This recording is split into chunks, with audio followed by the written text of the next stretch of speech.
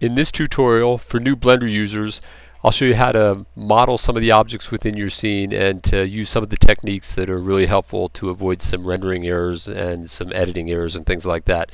And I'm using version 2.63a. So I have a uh, simple scene set up in here. You notice I have my texture mode set in here and I'm shows that I'm in game mode, but the only reason I'm in game mode was because I had gone down here and set my lighting GLSL down there, but we really want to be in Blender Render as working in here. Alright, and then um, we'll just work with this cube. First thing we'll do is, let's say we'll give it a color.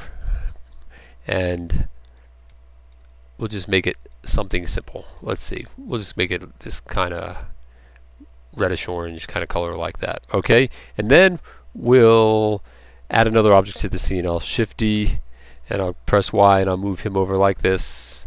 No, actually let's not do that. Let's escape that. Let me just move the cursor over here. I'll shift A. Let's add a sphere to the scene.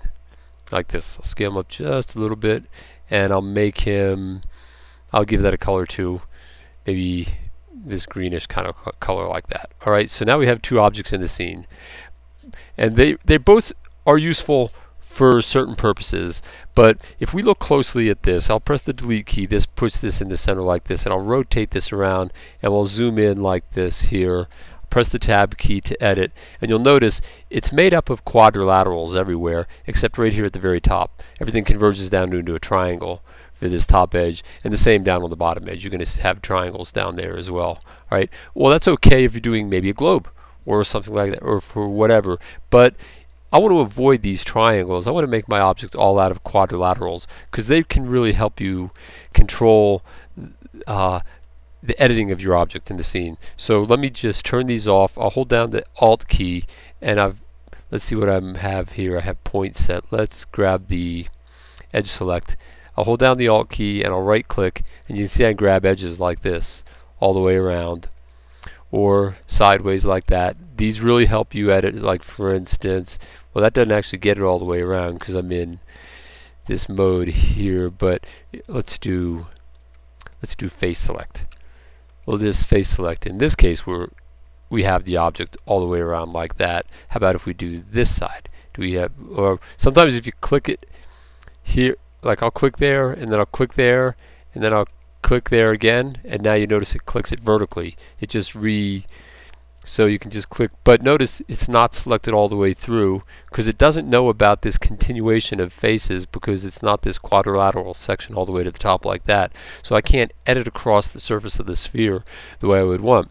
So instead, one of the better ways to model, and it's it just depends what you're modeling, but if you want to say uh, model in both directions, I'll tab out of that here and I'll look at this object instead. So I'll move, I'll move this one over into the light a little bit. Whoa, how did I get two cubes in there? I must have done something. I'll move him over also. Let's get rid of this one. Alright, I'll get rid of that. We'll work with this cube just for a second. We'll put him in the light. Like this. So, and I'll press the delete key so he's the actual centered object. So when I rotate, I'm rotating around the center of this object as well. That helps with your modeling.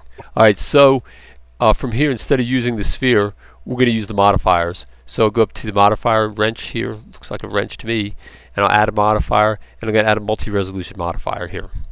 Alright, and what I'll do is I'll subdivide it. And when I do, I'll subdivide it, say, once, twice, oh, it's kind of looking like a sphere, doesn't it? Three times. Alright, and so it kind of does. It simulates a sphere, but if you look at it closely, you'll notice that it doesn't converge to a single point like in a globe or anything like that. You see quadrilaterals all the way. And so if I go into edit mode, oh, you go into edit mode and there's a problem. It doesn't do it because I didn't apply it. So I'll tab out, have to come over here and apply that there. And now when I go into edit mode, there it is like that. I'll hit press A to get rid of the, uh, to deselect everything. And then I'll, in this case, hold down the Alt key and I'll right click and you'll notice it selects around in this little way let's try all these. Clicks that way.